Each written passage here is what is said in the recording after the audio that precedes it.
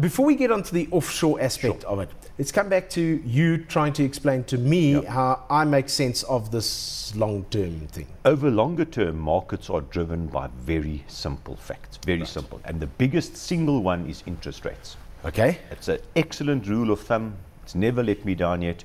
When interest rates are high, do not own shares. When interest rates are low, buy shares. So we and should all be buying right now. Correct, yeah because interest rates are low here and worldwide. Of course, when interest rates are low, they're low for a reason. And the reason is things aren't good out there. So it's psychologically, it's 180 degrees different to what you feel. When things are bad, you must buy. And when things are good, you must sell. Because okay. the market works, the market says, the market looks at, ahead and doesn't say, it doesn't say what's happening now. It says what's going to be happening in two years' time. And if interest rates are low now, more than likely the economy will be doing well in two years' time. So the market moves almost against the cycle. But okay. when you look over time, just very simple, go and look at the returns on the markets versus interest rates. The best returns are when rates are low, the worst returns are when rates are high. So that's logical and it makes sense. But when you live every single day in the market, and one day it's up three, the next day it's down four, and especially like we've seen, you know, you know two years ago with the credit crunch when the market fell 40%, you don't sometimes see the bigger picture. You say, well, look, it's fallen 40%. Now is not the time to sell. You start to panic, and that's yeah. the difference between long-term investing, where you say, I just riding it, I'm going to ride it out. I mean, our market now, it fell from 33,000 to 16,000. It's now back almost at 30,000. So it's virtually, it's 10% from its record high. But a lot of guys sold at 16,000 because they were worried it's going to 10,000. Yeah. They didn't take that bigger picture. So right now is a good time to buy equities yeah. here at home yeah. and abroad. Yeah, the market's not expensive where it is now. The, the offshore aspect of it, yes. let's have a look at that now. Because we have in terms of the, the Reserve Bank regulations, I, I think you can now, as an individual, um, take off and uh, yeah. uh, look. Unless you seriously, everyone wishes they had yeah. it, but it's what four million. Yeah. Unless you seriously rich, you can take as much money offshore as what you want to. So 99.9% of the population can take as much money offshore as what they want to, because you know I don't think there's terrible many people who've got four or five million rand mm. more than that to invest. So yeah effectively there's no exchange control. Let's let's say let's say that you let's say that we were seriously rich. Come on, yeah. Wayne, let's dream. Yeah, we can all dream now. You see, he smiles when I say let's dream. We he smiles, dream. eh? Let's dream. Let's say that you and I have four million rand each. Yeah. And we're going to take that offshore, tralala, tralala, tralala. Mm. What would you, once you finish tralalaing, yeah. do with that four million okay. rand? The, first of all, before we look at that, the biggest reason why you go offshore is to get diversification out of the rand. Because the rand's been wonderful the last year and a half, but we all remember the, in the past when the rand has been slaughtered. Yeah. The rand is a cyclical currency. You're going to get strong years and you're going to get weak years. So, so that's your first reason. So it goes yeah. well, then it yeah. gets sick. And right now well, we're in, we're in the good part of it.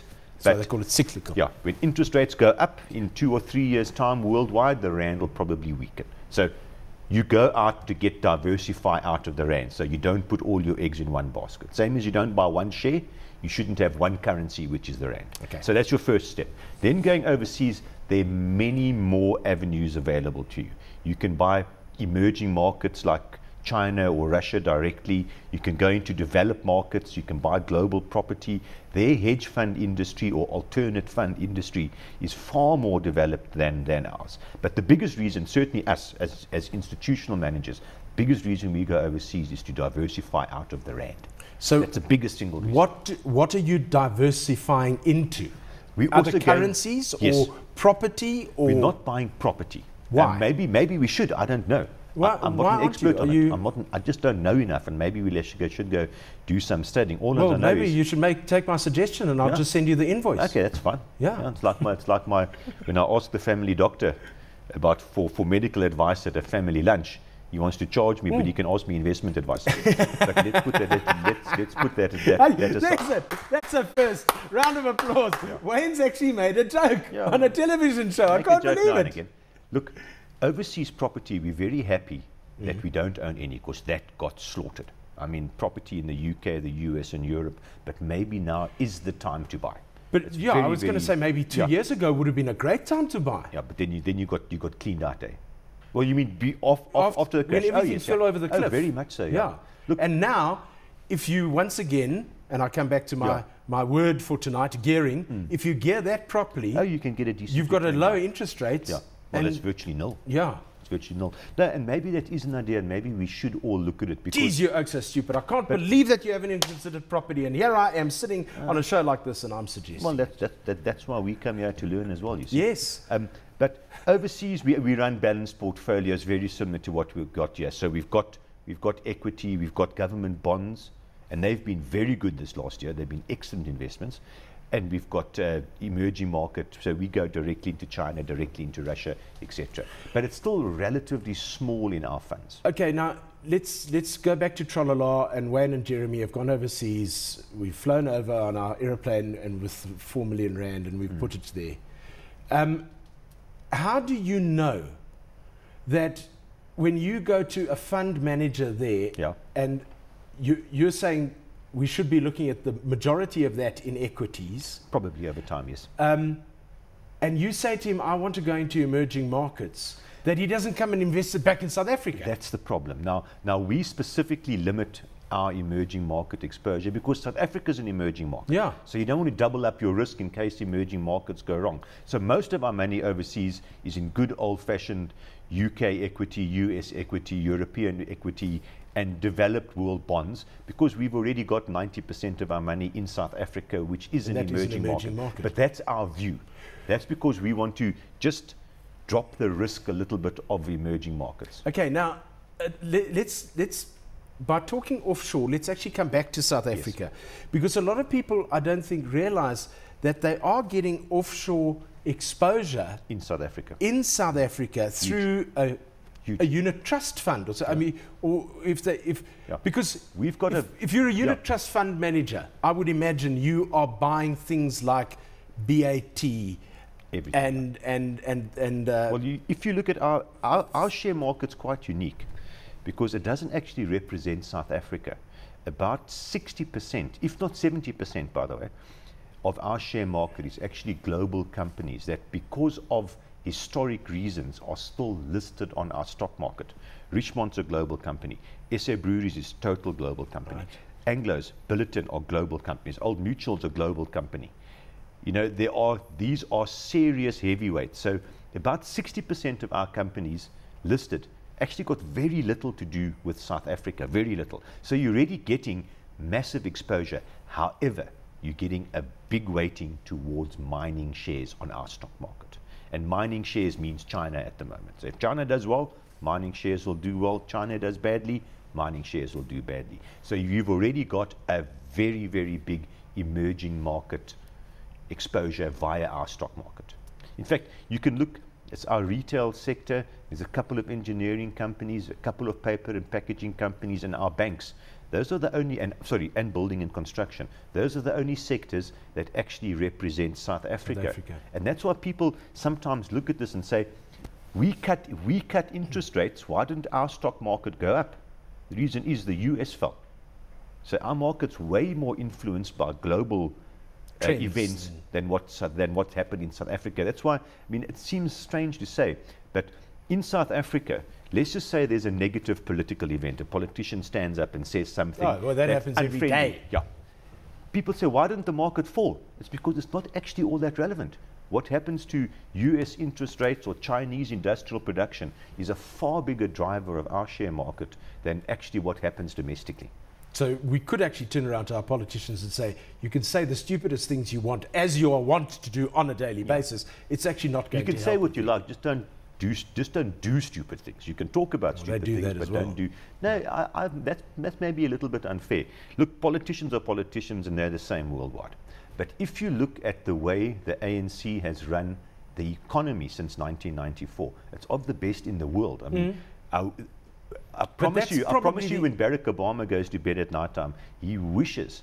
His government had the same financial position as our government. So sometimes you've got to But- just but divide the that- two. That's probably the only area. I don't dispute Where- that. where- no, where no, they have I don't. I don't dispute that. But at least they have succeeded. Yeah.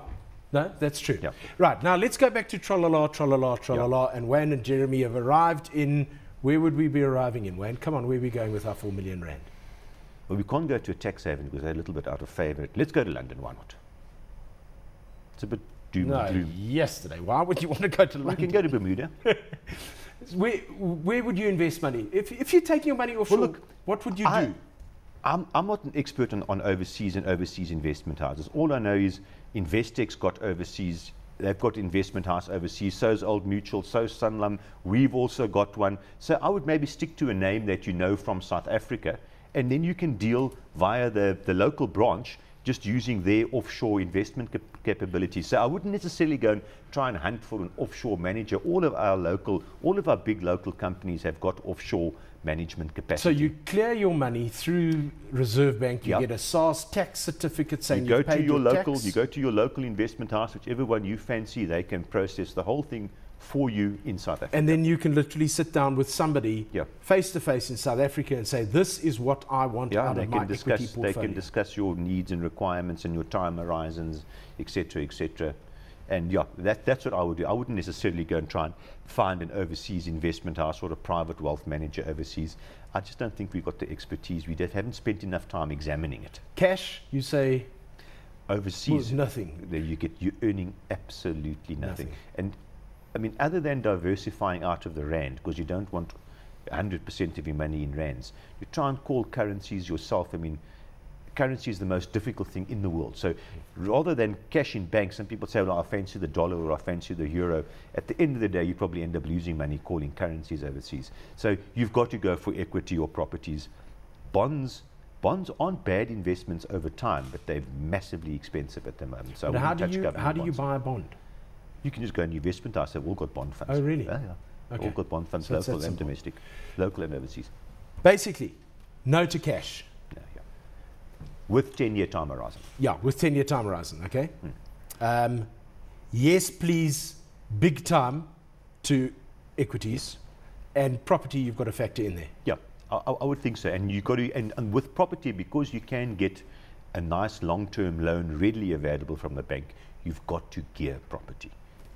Wayne McCurrie, thank you very much. Pleasure. Thank you for your emails, your suggestions, uh, your questions, your demands as well.